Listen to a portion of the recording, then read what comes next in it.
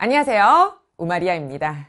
자, 이번 시간 고1 3월 모의고사는 꼭 대비해야 할까라고 하는 것을 주제로 캐스트 영상을 준비해 봤습니다. 자, 쌤이 이렇게 어, 주제를 꼭 대비해야 할까라고 쓴 이유는 이게 통합과학 부분은 국영수와는 조금 다르게 시험 범위가 굉장히 방대합니다. 그래서 이게 3월 모의고사를 준비하다 보면 그냥 내신을 놓치는 그러한 경우가 좀 많이 발생하거든요. 그래서 작년 3월 모의고사는 어떠한 것이 주제로 나왔는지를 확인해 가면서 우리가 통합과학에 대한 3월 모의고사 준비를 어떻게 할지 목표를 세우는 게 좀 좋을 것 같아서요. 쌤이 작년에 나왔던 모의고사 주제를 한번 분석해 보도록 하겠습니다. 자, 보시면 어, 중학교 교육과정이든 고등학교 교육과정이든 물, 화, 생지 4개의 영역이 모두 과학에 포함이 됩니다. 그래서 각 영역에서 보시다시피 다섯 문제씩 내 시험에 나오게 되었습니다. 그래서 자 보시면 1에서 5번 보면 저항의 연결이다, 역학적 에너지 전환이다, 그리고 열평형이다, 그리고 여러 가지 힘에서 부력에 대한 계산, 그리고 빛의 삼원색이다라고 하는 것이 작년에 이렇게 나왔는데 이게 잘 보니까 고1 교육과정에서는 크게 연계가 되지 않습니다. 자, 저항의 연결이라고 하는 것은 물원에서도 요즘 많이 안 나오고 이 다섯 개 중에서 그나마 어, 통합각 말고요. 어, 물리원이나 뭐 화학이나 이런 쪽에 연계가 되는 것을 찾으세요라고 한다면 역학적 에너지 물리원 그리고 열평형 Q는 cm 델타 t다라고 하는 열량의 계산이 있는데 이게 화원에 아주 조금 연계가 된다라고 보시면 됩니다. 그래서 현재 우리 학생들이 고1이죠.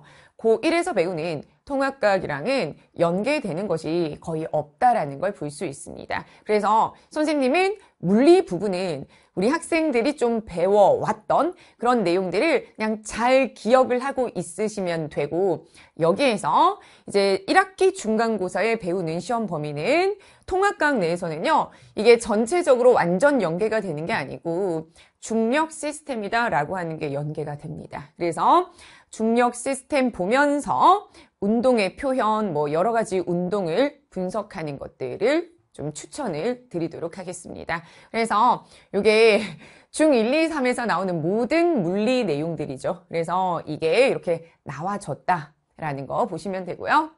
자, 보시고. 자, 6에서 10번까지 역시 이건 이제 화학이 좀 배치가 되어 있는데, 어, 6번은 작년에 화학 반응과 열 출입. 어, 뭐 굳이 고1과 연계는 안 됩니다. 자, 화학 반응과 열 출입과 그리고 뭐 열평형 이 부분이 나중에 화원에서 조금 어, 등장한다라고 보시면 되고요. 다양한 물질의 특성이 시험에 나왔고요. 그리고 원자 및 이온의 표현이 시험에 나왔습니다. 그리고 보일 샤를의 법칙이라고 하는 거 있죠. 자, 그 샤를의 법칙이 시험에 나왔고요. 그리고 일정 성분비 기체 반응의 법칙이 시험에 이제 이게 연계되는 게 시험에 나왔습니다. 자, 1에서 10번 중에서는 10번이 가장, 아니, 전체 문제 중에서 10번이 가장 어려웠다라고 우리가 볼 수 있는데, 사실 10번 문제는 통합과학에서는 되게 심화적으로 다루는 게 없습니다. 자, 이 부분은 화원과 연계가 되고, 그나마 다섯 문제 중에서 통합과학과 연결이 되는 것은 원자 및 이윤의 표현 법이다라고 하는 것 정도 또는 전자 배치다라고 하면 되는데 전자들이 어떻게 배치가 되었는지 그거 파악하는 정도가 통합과학과 연결이 되는데 이 전체적인 열 문제 중에서 통과랑 연결되는 건 8번밖에 없었다라는 거 보실 수 있습니다. 보통 1학기 중간고사 시험 범위 화학에서는 주기율표에 대해서 좀 배우는데요. 그때 이 부분을 다시 한번 배우게 됩니다. 그래서 우리 학생들은 화학 범위는 예전에 배웠던 것들을 잘 기억을 하되 중 1, 2, 3의 모든 내용을 다 펼쳐서 새롭게 공부하는 것은 솔직히 그 시간에 내신 공부하는 게 낫다고 보거든요. 그래서 이 부분 어, 원소 주기율표, 뭐 알칼리 금속, 할로젠, 원소 이런 부분들을 좀 중점적으로 학습하는 것을 추천드리겠습니다. 자, 그리고 보시면 11에서 20번은 생명과학과 지구과학이 연계가 되는데 자 11번 이 생명과학 부분은 광합성과 호흡이 작년에 시험에 나왔는데 자 이건 보통 1학기 중간고사보다는 1학기 기말고사에 많이 치러지는 내용이 있습니다. 물질 대사라고 하는 부분이 있는데 그 부분이 어, 좀 통합과학과 연결가 된다라는 거 보시면 됩니다.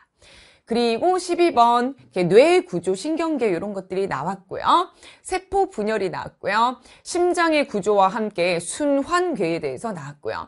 그리고 여러 가지 영양소의 검출이 나왔는데 사실 이 부분들은 네 통합과학에서 그냥 거의 언급도 되지 않습니다. 그래서 아, 이 부분 어, 신경계 사실 뭐 신경계, 순환계, 영양소의 검출 방법은 모두가 암기를 해야 되는 내용이잖아요. 그래서 쌤은 생명과학 부분은 어, 사실 1학기 중간고사 범위는 생명체를 구성하는 물질, 그러니까 탄수화물, 단백질 등에 대해서 얘들의 구조적 특징을 어, 좀 배우게 되는데 차라리 이거 싹 다 공부하는 것보다는 고1 내신의 통합과학을 공부해가면서 뭐 이런 부분들 시간이 되면 한번 눈으로 봐주시는 게 좀 좋지 않을까 싶어요. 왜냐하면 싹 다 암기죠. 싹 다 암기인데 지금 열심히 암기해봤자 내년 한 여름방학쯤부터 우리가 써먹을 수 있어. 그것도 생명과학 원을 우리가 선택을 하게 된다면.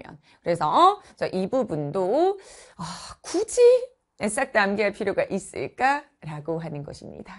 자 그리고 마지막 지구과학은 조금 상황이 다릅니다. 자, 지구과학 한번 보도록 하겠습니다. 자, 판구조론이다 라고 해서 메게너의 이 대륙 이동설이다 라고 하는 걸 중학교 때 배우는데 그 부분이 고등교육 과정에 완전히 연계가 돼요. 그리고 중학교 때는 뭐 다양한 기권, 수권, 직권 따위들을 따로따로 좀 배우게 되는데 수권의 분포다라고 해서 또는 뭐 수권의 분포를 하면서 해수의 층상, 튼, 해수의 층상 구조라고 하는 걸 배우는데, 어, 그 부분이 중학교 내용이 80이라면 통합과학 내용이 100이에요. 그래서 이 부분들은 또 완전히 연계가 되기 때문에 시간이 되신다면 이건 다시 한번 중학교 교재 찾아보는 거 추천드리겠습니다. 이게 보통 어 이게 1학기 중간 범위 얘가 한 1학기 기말 범위 정도로 들어가거든요. 통합강 내에서도요. 그러니까 얘는 공부하기에 시간을 투자할 가치가 좀 있다라고 보시면 됩니다. 그리고 별의 일주 운동이다라고 하는 게 나오는데 이건 고1에서도 연계가 안 되고 지구과학 원에서도 다양한 운동은 이제 많이 배우지 않죠.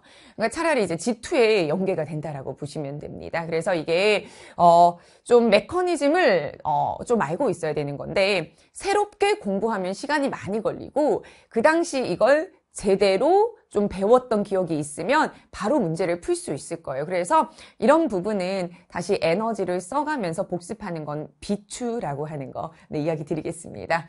그리고 지구 환경 변화다라고 해서 지구가 점점 뭐 따뜻해지고 있잖아. 그래서 그런 내용들이 중학교 교육 과정에서도 나오는데 이게 통합과학 보통 2학기 기말고사 범위에 해당이 됩니다. 그래서 이 부분들은 어, 쓱 한번 읽어보시고 대부분 암기를 하는 것보다는 자료 분석을 하는 뭐 도표 분석을 하는 그런 문제로 시험에 나오니까 대충 이러했구나 정도 보시면 됩니다.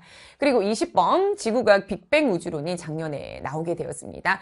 보통 중3 가장 마지막 학기 이제 가장 마지막 주제가 배우는 주제가 우주에 대한 뭐 우주 팽창에 대해서 배우는데 이건 네, 1학기 중간고사 통합과 교재 딱 펼치면 바로 나오는 게 빅뱅 우주론이기 때문에 이건 완전 연계가 되겠죠. 그래서 이 부분은 다시 한번 봐주시는 거 좀 추천을 드리겠습니다.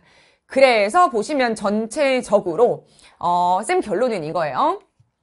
자, 물리 그리고 화학도 좀 생명도 좀 이게 크게 막 연계가 되지는 않는데 어, 지구과학은요. 다시 한번 쭉 봐주시는 거 우리가 3월 모의고사를 대비하면서 내신까지 잡을 수 있는 그러한 시간적 활용이 된다라는 거 보시면 될 것 같습니다. 그래서 자 결론. 자 우리 학생들 어, 고1 아, 국영수는 아니고 과학이 좀 그렇습니다. 그래서 과학 3월 모의고사를 대비할 때는 그냥 3월에 배우는 내신 이 자체에 학교 수업 열심히 들으면서 아 모의고사는 지구과학 정도만 대비하면 된다 이렇게 생각하시면 될 것 같습니다. 어, 아주 깔끔하죠? 요 정도 공부하시면 정말 됩니다. 자 그래서 마지막 여러분의 어, 고등학교 첫 모의고사를 응원하면서 저는 마무리하도록 하겠습니다.